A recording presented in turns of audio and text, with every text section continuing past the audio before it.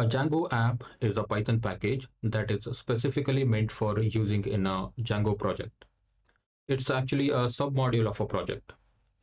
Before I explain to you about apps, let's first create an app.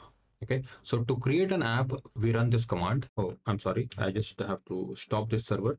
Python manage.py start app and your app name.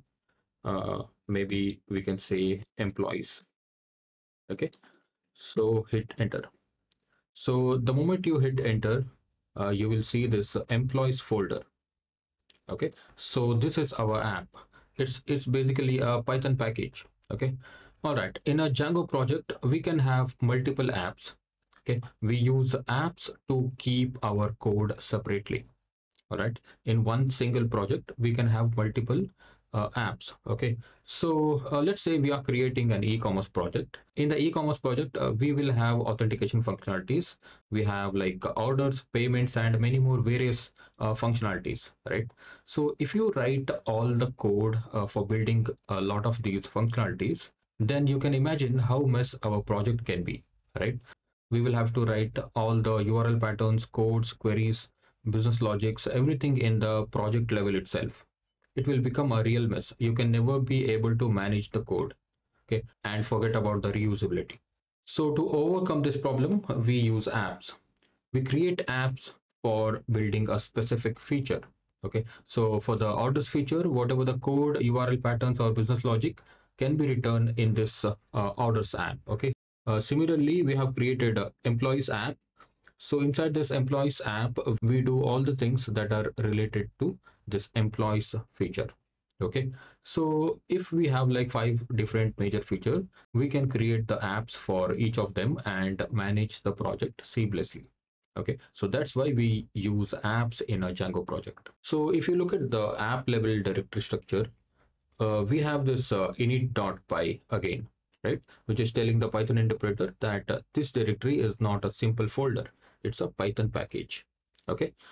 And then we have this uh, admin.py so the admin.py is uh, used to display our models in the django admin panel. So django by default gives the uh, admin panel where you can manage the basic CRUD operations. Okay? You can also customize the admin panel according to your requirements. And of course we will see more about admin panel in the next lecture. All right? And then we have this uh, apps.py so this file is created to help the user to add any uh, application level configuration for the app. All right. Most of the time you don't have to edit this file until and unless you are an expert uh, Django developer. All right. And then we have this models.py. This file contains the essential fields and behaviors of the data that you are storing in the database. In fact, we create uh, database tables and fields by writing the model classes in this file okay? So we work on this file more often. It's a very important file all right? And then we have this uh, test.py this file is used to run any tests in your django project. And then we have this views.py as you know in this file we create the business logic of a specific app okay so that's about uh, django apps. As you keep following this course you will gain more practical knowledge about the django projects and apps. All right. With that said we'll move forward to the next lecture